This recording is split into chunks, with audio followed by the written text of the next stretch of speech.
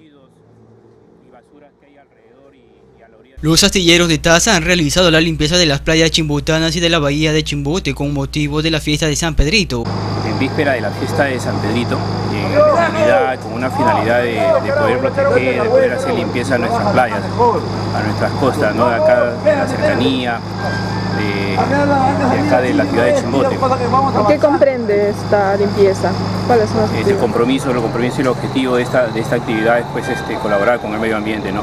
El- En esta labor acompañaron elementos de la Capitanía del Puerto de Chimbote, así como la compañía de bomberos con el regado de las calles. Esta actividad se realizó en un área de un kilómetro de las playas de Chimbote. en colaboración con la, con la Capitanía de Puerto de Chimbote, la Compañía de Bomberos, el Pueblo Joven Huanchaquito, ¿no? este, el recolectar todos los residuos y basuras que hay alrededor y, y a la orilla de la playa de Chimbote.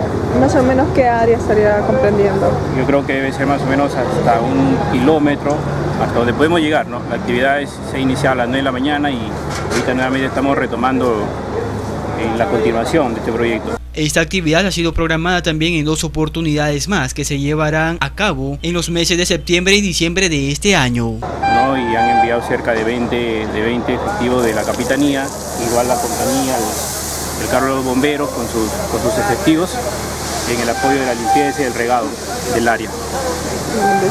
¿Esto lo, lo hacen periódicamente o solo por en realidad tenemos ya programado al, al año tres actividades parecidas, ¿no? y ya hemos iniciado este año con la primera. Estamos programando una próxima para septiembre y para diciembre otra próxima. Ay